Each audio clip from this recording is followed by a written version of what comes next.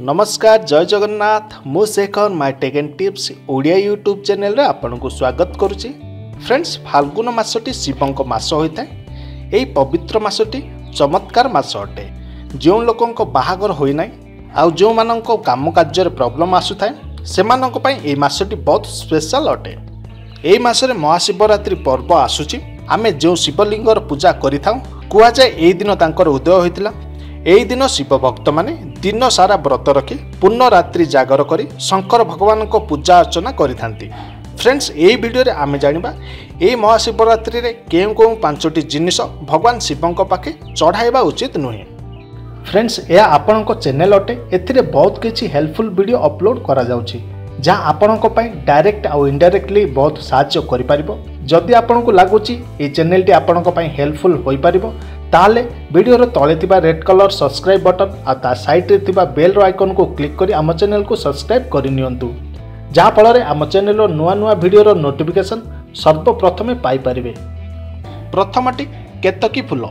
ଶିବ ପୁରାଣରେ କେତକୀ ଫୁଲକୁ ନ ଚଢ଼ାଇବା ପାଇଁ କୁହାଯାଇଛି ଶିବରାତ୍ରି ଆସୁଛି ଆପଣଙ୍କୁ ଧ୍ୟାନ ରଖିବାକୁ ପଡ଼ିବ। କୁହନ୍ତି ଭଗବାନ ଶିବ ବ୍ରହ୍ମାଙ୍କ ମିଛରେ ସାଥୀ ଦେବା ଯୋଗୁଁ କେତକୀ ଫୁଲକୁ ଶ୍ରାପ ମିଳିଥିଲା। ଆଉ କୁହାଯାଉଛି କି ଶିବଲିଙ୍ଗ ଉପରେ କେତକୀ ଫୁଲକୁ କେବେ ବି ଅର୍ପଣ କରାଯିବ ନାହିଁ। ସେହି ଦିନଠାରୁ ଭଗବାନ ଶିବଙ୍କୁ ଏହି ଫୁଲ ପୂଜାରେ ଚଢ଼ାଯାଇ ନଥାଏ। ଦ୍ୱିତୀୟରେ ତୁଳସୀ ପତ୍ର। ତୁଳସୀ ଗଛ ବି ଶିବ ପୂଜାରେ ମନା ହେବା ପଛରେ ଗୋଟେ କଥା ଅଛି।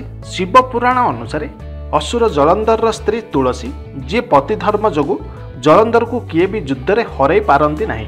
ଏଥିପାଇଁ ଭଗବାନ ବିଷ୍ଣୁ ତୁଳସୀ ମାତାଙ୍କ ପତିବ୍ରତା ନଷ୍ଟ କରିବା ପାଇଁ ସେ ଜଳନ୍ଧର ରୂପ ଧାରଣ କରି ତୁଳସୀ ମାତାଙ୍କ ପାଖରେ ପହଞ୍ଚିଗଲେ।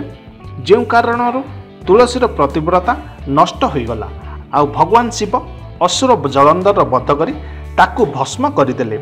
ଏହି ଘଟଣାଟି ମାତା ତୁଳସୀଙ୍କୁ ବହୁତ କଷ୍ଟ ଦେଇଥିଲା ଆଉ ସେ ସର୍ବଦା ଭଗବାନ ଶିବଙ୍କ ପୂଜାରେ ଆଲୋକିତ ତଥା ଦିବ୍ୟ ଗୁଣରେ ଭରା ଥିବା ତୁଳସୀ ପତ୍ରକୁ ଚଢ଼ାଇବା ମନା କରିଦେଇଥିଲେ। ସେଥିପାଇଁ ତୁଳସୀ ପତ୍ର ଭୁଲରେ ବି ଚଢ଼ାନ୍ତୁ ନାହିଁ।